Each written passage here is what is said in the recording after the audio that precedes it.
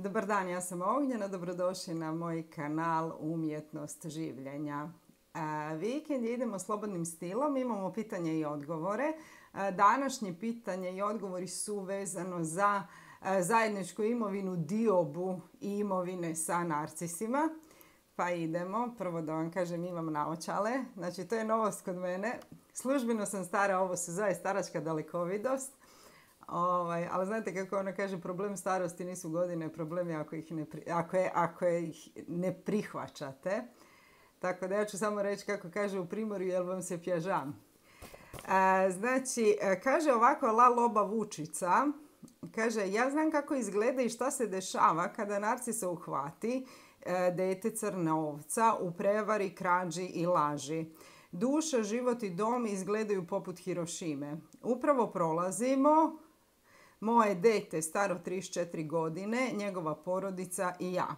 E, Narcis je kod advokata podneo tužbu za iseljavanje crne ovce sa sve, sa sve decom i ženom iz zajedničke porodične kuće. E, moram preuzeti mere zaštite zajednički stečene imovine. E, dalje u komentarima Laloba Vučica kaže da moj sin je odrasla osoba, ima dvoje dece i suprugu. Ja sam razumela prvo, nisam sprovela. Ovih dana se ustremio na sina. Sve nas je doveo do nervnog sloma. Radi sve da sina izbaci iz kuće.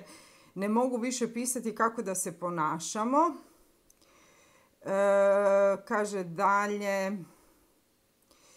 E, isto mislimo sin sna, snaja i ja gdje ćemo, predugo smo i premnogo uložili svako od nas, imamo privatni posao, uništit ćemo odlaskom dve, a on to možda i hoće, oprostite mi, Hvala puno, pomalo se i stidim, radimo cijeli život, on upravlja novcem, neophodna je stručna pomoć, pravna i psihološka.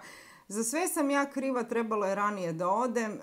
E, ali znate da mi je znači odgovor, hvala od srca, sve najbolje, mir i svako dobro. Ovako, La Loba Vučica, e, hvala što ste ovako otvorena i zapravo mi je žao, ja vjerujem svima na kanalu, nam je žao da prolazite svojevrsnu dramu. E, samo klaster bi zna izazvati znači takve drame, to je strava. Međutim, šta ja tu zapravo želim reći. Prvo želim istaknuti jednu stvar. E, nema vas šta biti sram. Čega vas je sram? E, znači, nemojte se sramiti. To što taj čovjek čini, to je njegovo, to nije vaše. Znači, odabir da se ponaša na taj način u jednom času što je jezivo prema svom vlastitom djetetu. To je strašno i to je nešto što će zauvijek ostati njemu. Nemojte to zaboraviti, to će zauvijek ostati njemu, e, ma kako se ovo završilo. E, trebalo je ranije da odete, znate šta, možda da, možda ne. E, znate, ja u radu ja uvijek govorim svojim klijentima, nemojte, nemojte biti prestrogi prema sebi. Svi mi, svi mi uvijek radimo samo najbolje što znamo i jako je teško zapravo e, napraviti pravi izbor. Znači, koji izbor je pravi izbor? Znate, u životu su šanse uvijek 50-50.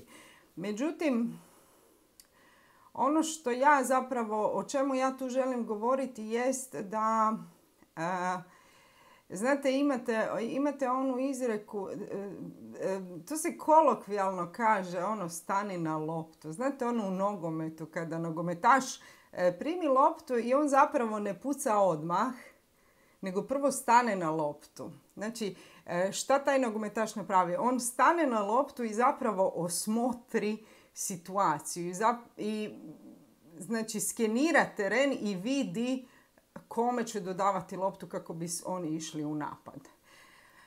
E, šta ja time želim reći? ova situacija, ma kako se strašnom činila, ja sam gotovo sigurna da nije tako strašna kako, kako izgleda na prvu. E, narcisi su puni, znači kada se u njima izazove gnjev, oni su puni e, bijesa, oni su puni prijetnji, oni su, i oni su onda skloni e, u tim takvim stanjima vući vrlo nerazborite poteze. Međutim,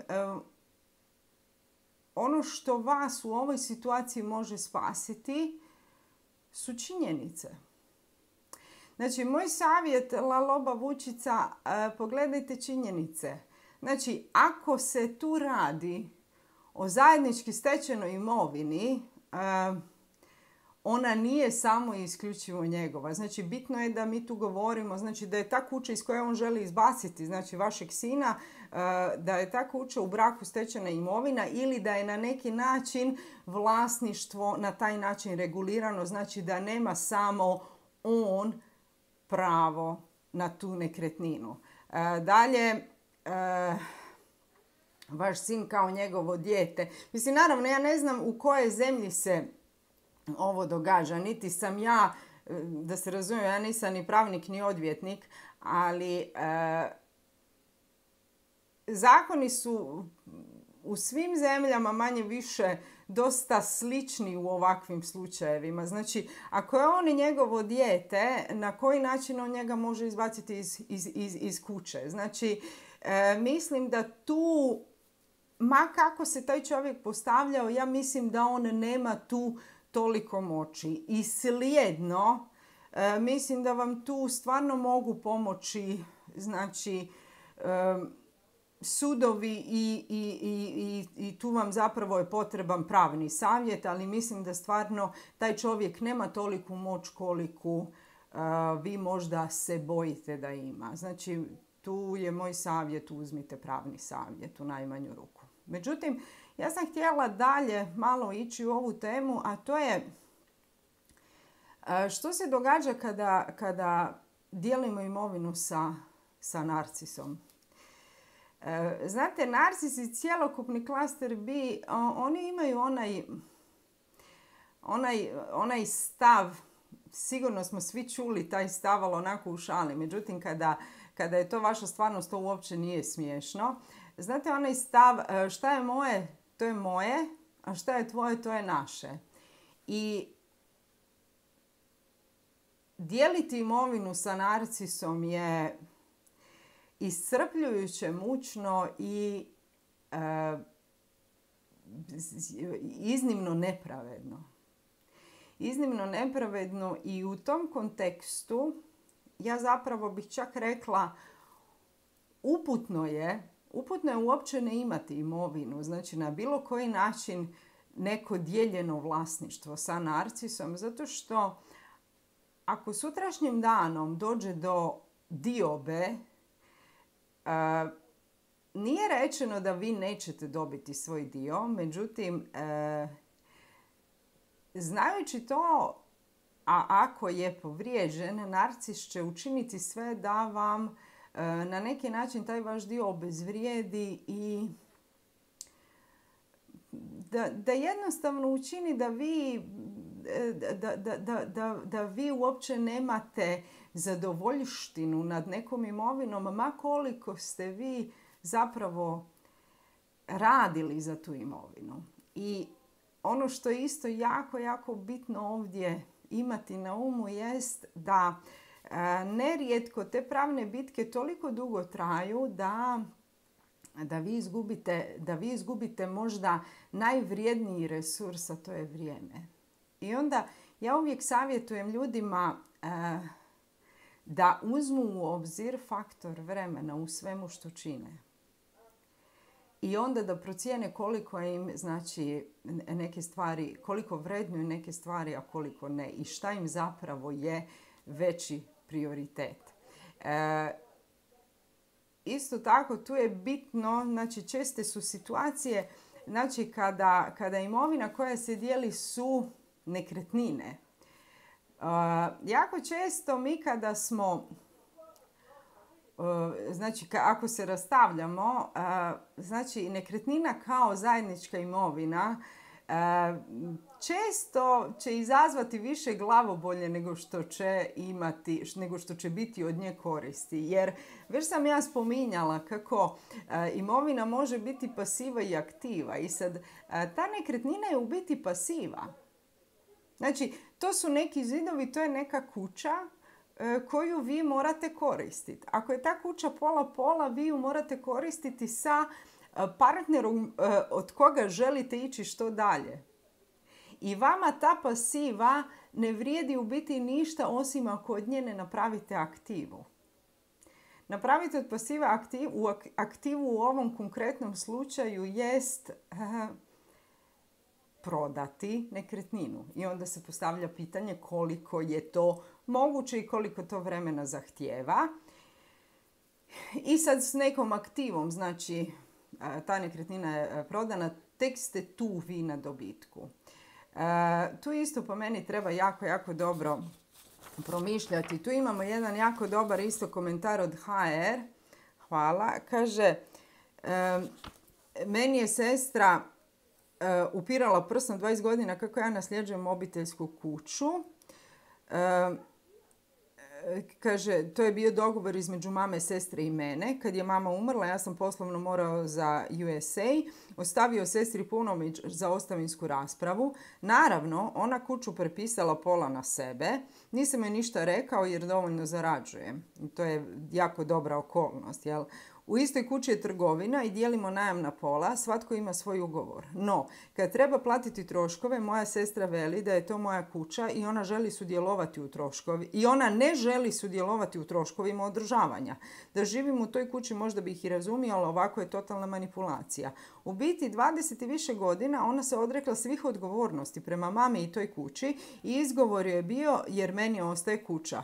Drama je daleko veća, ali hvala Bogu kupio sam svoju kuću svojim parama i izgradio više poslovnih izvora.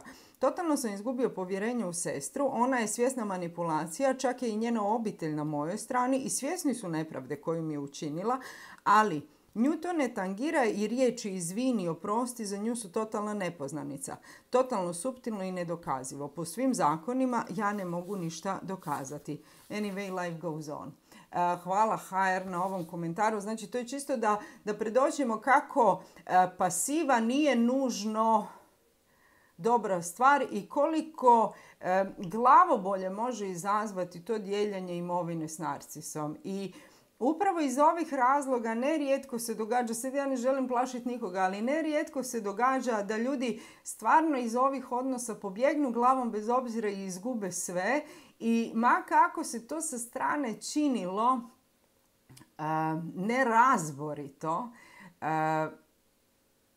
to samo pokazuje koliko je tim ljudima više vrijedio znači neki njihov život i neko njihovo vrijeme nego ta neka imovina koja je materijalna. Bila ona, znači, i, osobito kada se tu radi o pasivi.